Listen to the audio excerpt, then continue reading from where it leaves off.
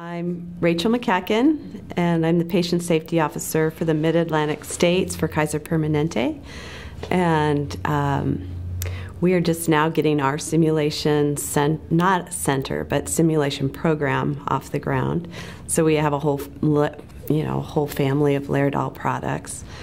Um, in the Mid Atlantic, so far though, we already have been doing simulation um, in our perinatal units. So we've been doing, we've been using Noelle and practicing emergencies, and also we're doing the prompt. So it's, I love that simulator. Of all the simulators, I know it's like so basic, but the, the beauty of being able to have a live patient playing mother um, gives a whole realism to simulation that's really, I think, exciting because you can, um, that's a whole nother person you can play off and get real responses. And um, I've just really enjoyed using the prompt and what, how we use it. We use it for shoulder dystocia drills and um, vacuum delivery and teaching physicians how to place the vacuum correctly on that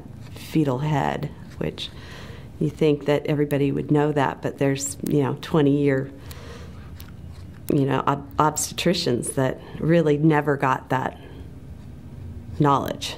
So it's been really an incredible simulator.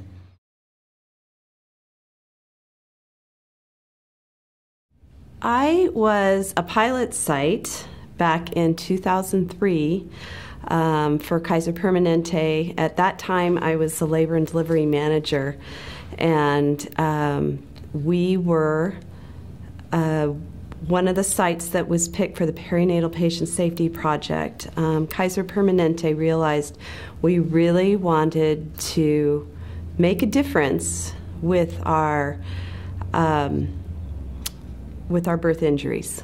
You know, we wanted to decrease the amount that were happening, and it wasn't like they were astronomically astronomical compared to the industry, but as uh, we're such a member focused organization, we really felt that we needed to do the best job we possibly can to eliminate birth injuries. That's a lofty goal, but at least to decrease them and figure out how we could get to that.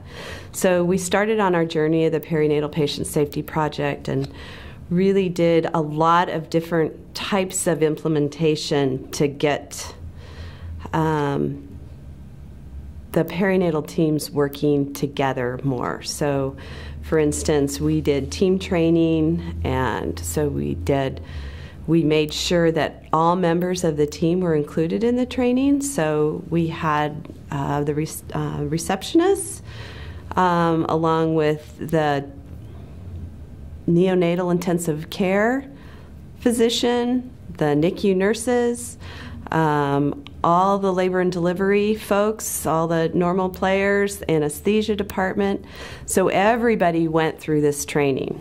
And with that, after our first year, we realized we need to do start rehearsing emergencies. So that's pretty much where we sort of got turned on to simulation. And um, I worked with Paul Preston um, in those early days when he was bringing Noelle around in his van and drop it on the unit and let's, okay, let's crash. Let's crash and burn. What can we do? And so it was really a grassroots effort at Kaiser Permanente. And we, and we started small where we could get buy in, and um, the program, you know, had a lot of stops and starts and but it's just been an infectious program, and everybody really supports the Perinatal Patient Safety Project um, throughout Kaiser Permanente. And um, the reason is is because we really have made a difference in our birth injury rate, and we really look to um, the simulation as a big part of that. So we did a lot of different things, but I think the simulation was the piece that really sort of coalesces the teams you know, and makes you realize, wow, when you see yourself on video, oh gosh, I really did not give a good SBAR to the pediatrician when he came into the room. you know. So he came in, he didn't know what was going on, and those kind of things you don't see in the heat of the moment or don't understand until you see them and you can debrief and go over it. So.